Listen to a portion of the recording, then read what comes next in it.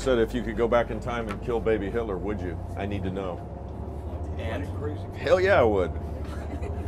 even if he was really cute. No, look, you gotta, you gotta, gotta step up, man. I mean, that's that would be key.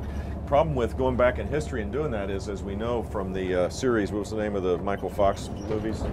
Back to the Future. Back to the Future. It has a, it could have a dangerous effect That's on true. on everything There's else. a lot So, to consider in this. but I'd do it. I mean, Okay. Hitler.